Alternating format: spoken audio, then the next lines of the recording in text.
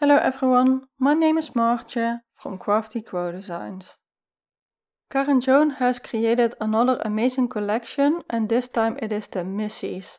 So previously I was also in the design team for the Blooming collection and now uh, this Missees collection is being released end of September. And one of the things in this Missees collection is this envelope die. And there are really a lot of different elements in this die and it also coordinates very well with the mixed paper pad which I will also show you later on. So in the mixed paper pad this contains all these nice uh, pattern papers. And from the mixed paper pad I'm going to use this little banner and also that background paper that you just saw. And then from the paper elements pack I am using these uh, gifts and also the hooray sentiment and I also thought I was going to use that balloon but in the end I didn't. So here you can see in a quick sneak peek uh, what is all in these paper elements and as you can see there's really a lot of different designs in them and every design is in two pages so you have everything twice and you can easily pop out all these different elements and then use them for your cards. So let's get started on the envelope. So on the envelope I wanted to use this banner and as I mentioned before this envelope die set it coordinates very well with the mixed paper pad. And as you can see these banner dies they match with these banners from the paper pad. So if you don't want to cut them out with your scissors you can also use the die. The envelope itself I die cut from white cardstock and the envelope die it also creates these score lines. So all you have to do is fold over the paper and then reinforce that fold with a bone folder.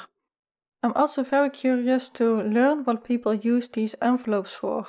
Would you for instance use them for snail mail or would you put a gift card in them or what would you use them for? Let me know in the comments down below.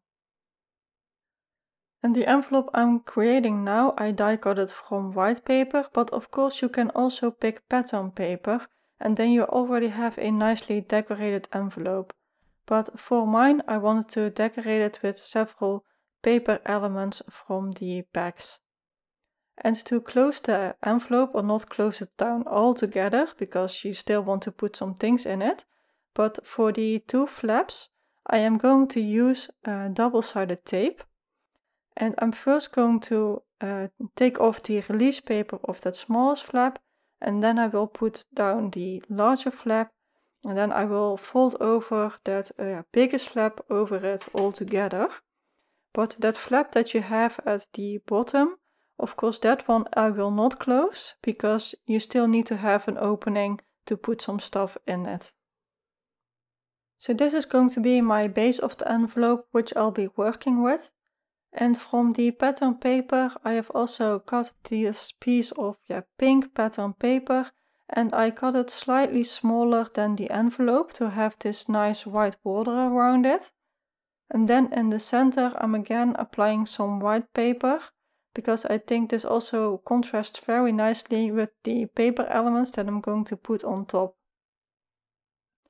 Then I'm putting down the banner more at the bottom of the envelope and then on top I am adhering the hooray sentiment with foam tapes at the back to create some dimension and interest. And then behind the hooray sentiment I am putting the two gifts and I'm putting them in a slight angle to also give it a playful effect. Maybe you already have noticed it, but some of these elements in the paper elements pack, they have this nice gold foil on top I don't know why it is so hard for me to pronounce, but this really gives it a nice shine and it also matches really well with the sequins that is also in the Missees collection. And I also thought at first that I would put the balloon in the top left, but that balloon it was just a bit too big and there was not that much space left. So I also went through those paper elements and I noticed this nice gold foil heart and I also put a pink heart behind it because otherwise the white would come through and I thought it would look nicer if there was a pink heart behind it. Then to add some final touches to my envelope, I wanted to put down some sequins. So the Missees collection, it also has this very nice sequins that matches very well with all these paper elements and also the mixed paper pads. And for this envelope I decided to go with the gold sequins and also for the teal sequins because I felt that matched uh, the best with the design that I was going for. And it is always best to work in uneven pairs, so that is also what I did. So I put three pairs down of the sequins and I made it into a visual triangle.